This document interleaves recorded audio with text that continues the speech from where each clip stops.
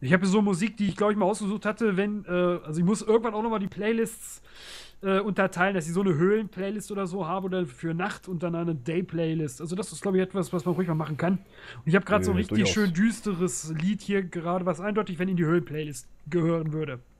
Ah ja. Und ich glaube, das andere Ding, der brauchte Zinn und das andere Ding, die Zentrifuge. Äh, ulla, ulla, hey. Wer sich jetzt wundert, warum das mit dem Tippen immer Ui. so lange dauert, ich muss immer halb über den Tisch greifen. Das Tastatur liegt so weit weg. Kupfer, genau. Ja, zumindest haben wir beide kein Mikro direkt vor der Tastatur hängen, was einen ja doch auch beim Aufnehmen, äh, bei manch anderen bekannteren Let's Play ist das ja auch immer wieder gang und gäbe, äh, behindert. Ähm, ja, das ist, äh, wie gesagt, ich, hab, ich benutze ein Headset und okay, über die Aufnahmequalität, ja. über die Qualität des Mikrofons lässt sich streiten. Also ich finde es gut, also ganz ehrlich, ich habe ja mit dem gleichen Headset dann auch geliebäugelt, nur jetzt halt nicht für Aufnahme, weil ich da ja schon diese kleine Anlage hier hatte, das ein bisschen Equip. Ja, so und äh, wenn es mal bei mir im Budget drin ist, werde ich mir wahrscheinlich das gleiche zulegen. Weil ich finde das Teil einfach mal Porno. Ah, danke, danke. Das ist ja auch gestern in der Aufnahme bei Minecraft drüber immer so ein bisschen vom Equip etc. pp. bin auch aufs Thema Monetarisieren gekommen, weil mich ein Zuschauer gefragt hatte, bist du Monetarisierungspartner? Äh, nö, bin ich nicht. Lohnt sich nicht, aber wenn, würde ich es natürlich machen. Und gleich auch vorweggegriffen, wenn jetzt einer kommt, äh, geldgeiler YouTuber. Ich glaube, das würde jeder machen, Geld damit verdienen. Und ich finde, es ist harte Arbeit, die hier drin steckt. Auch wenn es nur Spiele sind, was Durchaus. da alles noch hintersteckt, das können sich Durchaus. die ein oder andere vielleicht nicht vorstellen. Ja, und ich finde, jeder Cent, der da verdient wird, auch von den großen Let's Playern, finde ich, ist ein gerechtfertigter Cent. Durchaus, zumal man muss ja auch immer überlegen, ähm, wenn man jetzt beispielsweise wie heute, also die, wenn wir wirklich über drei Stunden aufnehmen, wird das ein ganz schöner Bearbeitungsmarathon danach. Ja, das Schneiden und alles dauert. Ja, denn ne, es ist ja nicht nur das Schneiden, es ist ja auch, äh, also ich mache es ja so, dass ich mir mehr oder weniger die komplette Aufnahme während des Schneidens nochmal ansehe, damit ich auch äh, vernünftige Schn Schnittpunkte finde und auch Richtig. ich dementsprechend ähm, Namen für die Folgen habe. Richtig, ich mache sowas ja stichpunktartig und habe da anscheinend immer ganz gutes Gefühl und Gespür für dass ich da brauchbare Stellen treffe, aber im Endeffekt ist es der gleiche, nahezu der identische Aufwand. Ich weiß ja nicht, wie sehr du sie dir anschaust, aber äh, ich glaube, mehr komplett. Okay, deutlich das heißt, das heißt also, ich, wir machen nicht nur einmal die drei Stunden Aufnahme, ich sitze auch noch einmal drei Stunden da dran und äh, sichte das ganze Material und schneide es dementsprechend. Und dann ist ja auch immer noch, dass ich für eine 15-Minuten-Folge mit meinem Rechner gut äh, eine halbe Stunde an ähm, Renderzeit habe. Das ja. heißt, effektiv werden aus den äh, drei Stunden dann mal eben kurz, ja, ein paar mehr. genau. Ne? Das, jetzt genau, mal um eine Zahl in den Raum zu stellen, ist das schon oh mal Gott. gar nicht so wenig. Und wenn ich mir jetzt überlege, wie viele Projekte ich derzeit so mehr oder weniger nebenbei laufen habe, das ist manches Mal. Ich weiß, warum ich ein bisschen runterkommen möchte, aber man macht es halt auch, um bekannt zu werden. Man möchte viel abdecken, um möglichst viele Zuschauer ja, noch ja. zu begeistern, wenn man klein ja. ist. Ja, doch, durchaus. Aber gut. Ähm, kann ich verstehen, aber wie gesagt, jetzt bei mir, ich habe ja bis jetzt immer nur das, dieses eine Projekt hier laufen und. Richtig, richtig. Zugegeben, es juckt mich in den Fingern, noch ein Projekt anzufangen, aber wie gesagt, naja, im Moment sieht das bei mir alles ein bisschen eng aus und das, äh, ja. Brauchen wir, glaube ich, nicht weiter drüber reden. Aber das kenne ich ja deswegen. Ich, ich möchte auch ganz gerne halt Indie-Games immer wieder dabei haben und das finde ich auch so toll. Weil das sind Spiele, wenn sie wirklich auch äh, gut ankommen, die Let's Plays, da unterstützt man die Entwickler ja auch. Was? Flora in the Box, das ist das ah, äh, ja. ähm, Creative-Modus, die Creative-Modus äh, äh, hm. Bienendatenbank. Also, Flora so. ist, glaube ich, Flora ist die, die, die Königin. Richtig, richtig. Äh, wie gesagt, also ich werde jetzt auch wahrscheinlich in der nächsten Zeit bei mir projektmäßig so einige Änderungen machen. Ich muss ja jetzt auch noch das vielen Dank für die 50 Abonnenten-Video dann äh, aufnehmen, die Tage. Äh, zumindest so ein kleines Infovideo und da auch äh, eben sagen, also es wird bei mir jetzt ja so projektmäßig, also ich werde aufnahmemäßig immer so ein bisschen hin und her springen. So nach dem Motto, jetzt nehme ich, ähm, ach Gottchen, jetzt komme ich gerade echt nicht auf den Namen. Sang-Froid. Auf, so, wenn die Aufnahme dann durchgelaufen ist, soll, kommt was anderes, beziehungsweise Sang-Froid wird wahrscheinlich durchlaufen, aber mit Age of Empires 2 wird sich Don't Starve wahrscheinlich abwechseln, aufnahmeweise da ich dann jetzt doch so langsam wieder Lust kriege auf Don't Starve. Ja. Ja, wie gesagt, ich habe es mir angeguckt, ich habe es angezockt und ja, ja, ja, es ist lustig, aber es ist jetzt nichts, was ich jetzt, äh, ich fluche dabei zu viel. ah, schön. Huch, das ist ja gar kein Kupfer, das ist, das ist ja äh, Zinn, das ist ja Silber, das ist das falsche Material. Ich brauche. So, ah, ja, wie sind wir jetzt draufgekommen? Ach ja, monetarisieren etc. pp. Ja, wie gesagt, und wenn man dann so sieht, was die Großen da stellenweise für eine Arbeit, und die haben ja noch mehr Arbeit dahinter. Ja, ja, auf jeden Fall. Wir, wir machen das Gronk, ja noch. der dann noch mit speziellen Filtern dafür äh, immer eigene Einstellungen für jedes Projekt, spezielle Filter sich zurechtbastelt, dann. Also ja. die Einstellung und so weiter und so fort auch Publisher anschreiben und so weiter und so fort. Das ist gut, das obliegt uns ja inzwischen auch schon. Für jedes Projekt ja. muss man ja erstmal anbetteln. Genau, das ist ja nicht nur mal eben so, Nein, dass man dann einfach loslegt. Man möchte ja nicht unbedingt, dass man dann so einen bösen Brief vom Anwalt dann auf einmal in der Post hat. Äh, genau. Das möchte man vermeiden. Aber andererseits auch stimmt es natürlich auch. Das ist das Recht von einem Publisher und Entwickler. Selbstverständlich. Das Immerhin. noch keine abspenstig machen.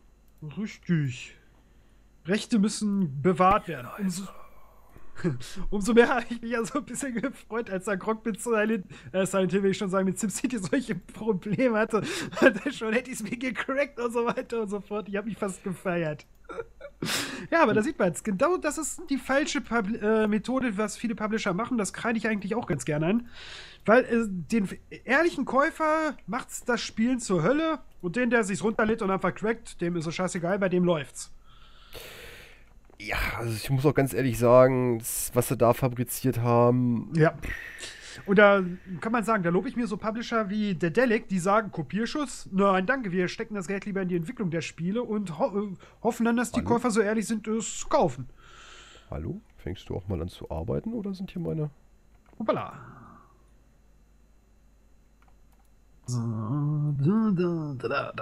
Ach so, kein Wasser mehr da drin. Mensch, Leute, sagt mir doch. Sa äh, und die Glasscheibe. Du hast kein Wasser mehr.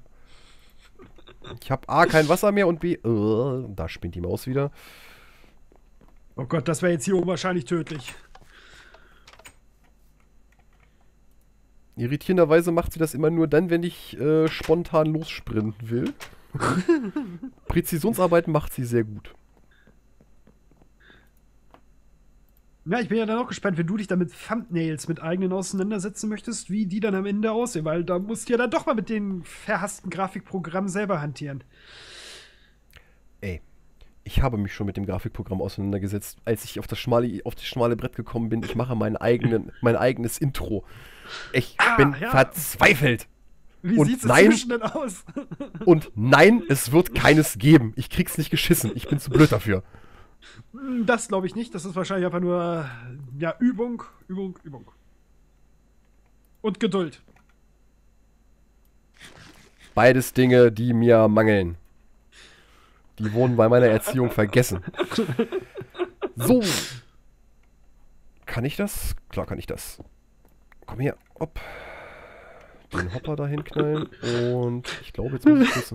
Schön, mir ist jetzt gerade so ein netter Spruch dazu gekommen, mit, das ist mit meiner Erziehung vergessen worden. Ich weiß nicht, ob ich den sagen soll. Ähm. Nein, ich behalten für mich. Lass mich kurz überlegen. Ich glaube, es ist besser, wenn du es sein lässt. Ach, ist das schön. Ich bin inzwischen oh, hoch, hoch hinaus. Auf welcher Höhe bin ich überhaupt? So, ein 64er Stack Honigtropfen oh. haben wir schon mal. Ich habe ja Gott sei Dank vorgearbeitet mit den, mit den Honeycombs. Und damit gehen wir jetzt direkt mal in unseren Honigraum. Äh, jetzt wollte ich doch mal eine Fackel. So. Äh, eins, zwei, drei, vier. Und. Das heißt, wir müssen noch eine höher. uns mal hier. Hoppala. Die Charge mit den übrig gebliebenen Drohnen und analysieren die mal ein bisschen, damit wir mal Hoppa. wissen, was da so für Werte drauf sind. Klack. Plopp. So. Und wir haben Forest Drones. Species, Forest Forest, Lifespan, Shorter, Slowest, bla bla bla. Hier kann man halt sehen, was die alles für Werte haben. Was sie produzieren, wozu sie, wozu sie mutieren können und zu welcher Spezies, Spezies äh, sie gehören, also Untergruppe. Und das können wir mit allen machen. Dasselbe Spiel für die Meadows, auch wieder alle möglichen Trades. So, die interessanten sind die Rocky, denn die haben nämlich äh, im Vergleich zu den anderen in diesem Bereich hier Nocturnal, Flyer und Cave alles Yes. Was bedeutet, dass sie einmal nachtaktiv sind, dass sie in Höhlen arbeiten können. Das heißt, selbst wenn sie keine direkte äh, Verbindung zur, zu, zu einer Lichtquelle haben. Und So. Äh, Flyer bedeutet, dass sie auch fliegen können, wenn es regnet. Und ich sollte aufhören, das Ding zuzumachen, wenn ich. Das ist doch ja. So. Goodie. Ähm. Zack, zack, zack. Interessiert mich sonst noch was für die? Ach ja, doch, die Modest interessieren mich noch. Oh Mann, ich fühle mich hier oben so langsam dann doch ein bisschen unwohl, auch wenn ich keine virtuelle Höhenangst habe. Ach ja, ich hatte ja zwei Sorten. Irgendwann mach ich's, Wintry irgendwann spring ich hier runter. Wo liegt der Unterschied? Effekt Freezing, Wintry Slow, Slow Flower. Ne? Oh, So. High Fertility. Das ist natürlich sehr schön. Hier Fertility. High Concentration Short, ist slow, auch slowest gut. Flower. Short, slower, slowest. Hm. Short, slower, slowest. Viermal Freezing? Viermal Freezing? Okay, wo ist der Unterschied in den Trades? Da ist keins. Icy. Ah. Eins. Hm, ich sehe kein. Ah, Jetzt geht das wieder los. Ich sehe zwar keinen Unterschied in den äh, Statistiken. Hm, Das heißt aber nicht, dass da nicht doch ein Unterschied ist, ne? Ah, so. Die eine Sorte ist schon mal gebrütet. Alles klar, die eine Sorte ist schon mal. Hier unten steht nämlich äh, Zero Ge- Generations in äh, Captivity, bla. Das heißt, dass die schon mal gebrütet wurden. Okay, gut. So verstanden. Hoppala. So, hoppala. Ach ja, Oh mein Gott. so, die kommen hier erstmal rein. Die werden wir dann nämlich noch später brauchen. Die werden zwar mehr oder weniger geschreddert, aber das ist ja relativ egal. Das heißt, die Wintry können hier auch wieder raus. Und dann brauchen wir jetzt mal hier die, die schon irgendwelche Mutationen haben. Um mal zu gucken, was für Mutationen sie haben. Hoppala und hopp. Naja, vielleicht kommen wir damit dann nämlich schon in die Richtung mit den Bienen, in die wir wollen. Zack. Marshy Queen. Oh, Marshy Tropical. Was ist ein Hybrid? Okay. Haben wir vielleicht auch irgendwas. Common Marshy. Common Den ist, der. Common ist die zweite. Äh, wenn man zwei äh, herkömmliche, her, herkömmlich gef gefundene äh, Bienenspezies miteinander kreuzt, kriegt man Common raus, die Mhm. man dann braucht für, um weiter in den einzelnen äh, Stammbäumen, sage ich jetzt mal, voranzukommen. Und die hier sind schon einmal äh, dahin mutiert. Da gibt es prozentuale Chancen und das kann man sich alles durchlesen. Und ich bin da kein Professor drin, darum werde ich ja nicht drüber viel erzählen. Du willst ja auch da nicht drüber promovieren, also brauchst du das auch nicht wissen, ne? Richtig, ich will ja darüber nicht promo. Oh, die sind Nocturnal. Oh, klingt gut. Wie sind die denn, wie sind die denn Nocturnal geworden? Common? Modest? Meadows. Hm, jetzt bin ich aber. Jetzt kommt der Forscherdrang doch. Naja, Theorie, ich brauche davon ja was. Ich brauche davon ja zum Beispiel jetzt diese Common. Ich habe hier zwei, die Common Marshy haben und zwei, die. Und eine, die Common Tropical hat. Vielleicht kann ich mir damit einen Common Branch hinzimmern. Das wäre total cool.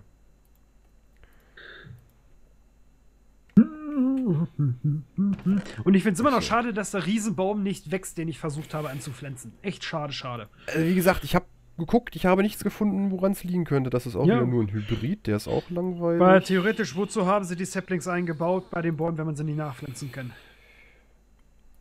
ich kann es dir nicht sagen. Ja. Gut, die könnte man jetzt auch noch mal versuchen. Oh, Vielleicht Jungle weiß es ja einer von unseren Zuschauern. Ja, das wäre total toll. Warum wächst der Baum von der Rubberwood Tree von Red Power 2 nicht? Und was müssen wir machen, damit er es tut? Genau. Gebt einen Kommentar ab und gewinnt unsere Dankbarkeit.